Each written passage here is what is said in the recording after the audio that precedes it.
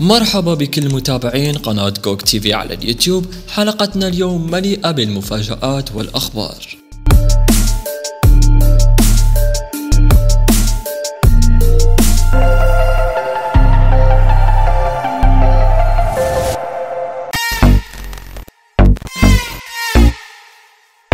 ب story انستغرام أعلن نورمان عن تحضيره لمفاجأة كبيرة.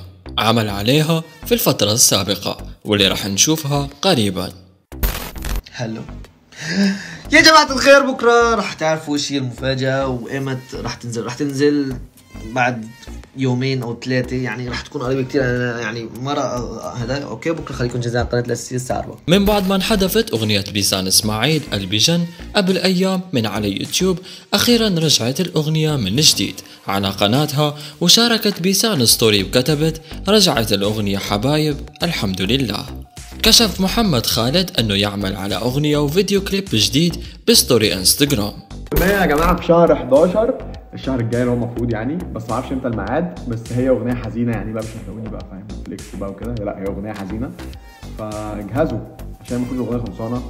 من بعد ما شاركت معكم في الفيديو السابق خبر دخول أصالة للمستشفى حبيت طمنكم بهذا الفيديو أنه أصالة صارت بخير حاليا ودخلت للمشفى بسبب الإرهاق والتعب فقط. وبشكر أسامة حيث هو اللي طمنا عن صحة أصالة.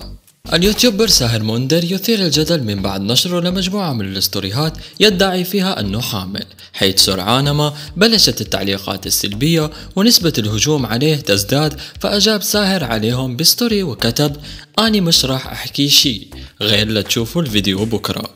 وأني هدفي من هالتجربة كوميدي خلص تنمر. ما رأيكم؟ شاركونا رأيكم بخانة التعليقات.